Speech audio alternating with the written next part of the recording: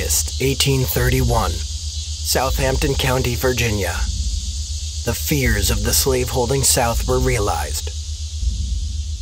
Rebellion. Over 70 slaves armed with knives, hatchets, and bludgeoning objects swept the pastoral countryside, killing all in their path. Their leader was a slave named Nat Turner. Born in the year 1800, Nat's mother had been kidnapped and brought from Africa, his father, a slave who later escaped. He would preach to fellow slaves and even some whites, earning him the nickname Prophet, and even claimed to receive visions. When he was 22, he escaped and fled, only to return to the plantation voluntarily.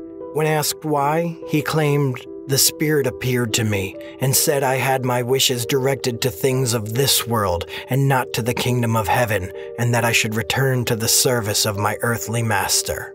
But Nat was not back to subserviently serve in bondage. He knew his purpose was to avenge those that suffered under the chains of slavery.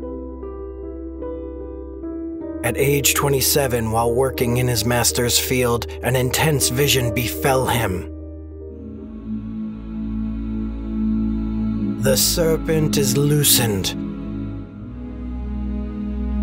Christ laid down the yoke for the sins of man, and you shall take it up to fight against the serpent. The time is near when the first shall be last, and the last shall be first.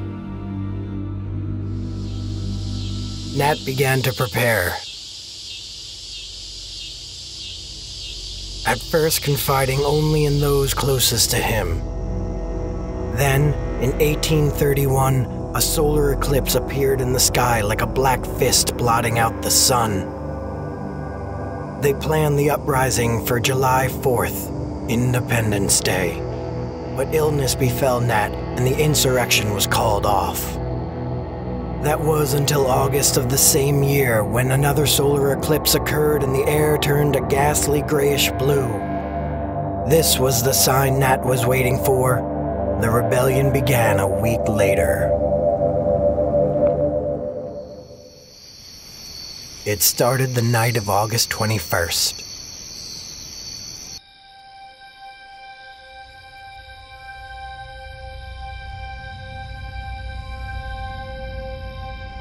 The small band of slaves killed Nat's owner, Joseph Travis, his wife and son, as well as a hired worker, in their beds while they slept.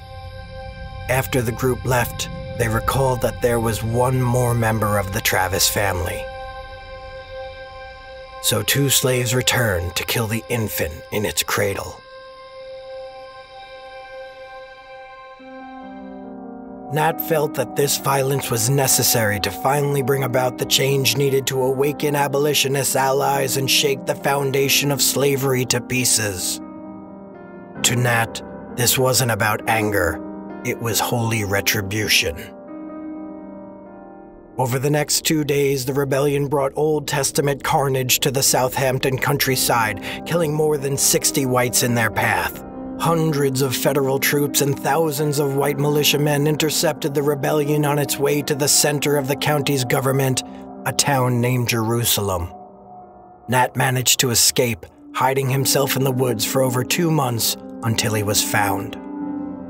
Once captured, he was quickly tried, convicted, and hanged. His body was desecrated, flayed, and decapitated, with his headless remains buried in an unmarked grave.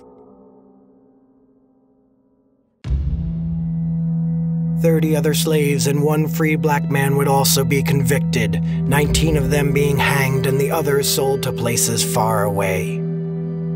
But this punishment paled in comparison to those African Americans that were murdered by paranoid, vengeful whites. Upwards of 200 blacks were killed by mobs during and following the rebellion. In the aftermath, some whites, including Thomas Jefferson Randolph, grandson to the third president, called for gradual emancipation to remove slavery. Instead, what followed in Virginia were even harsher codes for blacks. No jury trials for African Americans. free blacks found guilty of crimes could be sold into slavery, and it was now illegal to teach any black to read. Many other southern states followed suit. Nat Turner's rebellion was a product of over two centuries of oppression in Virginia. While the concentrated horror committed by those in the insurrection cannot be denied, the horrors inflicted upon them and their ancestors must be remembered to begin to understand the event.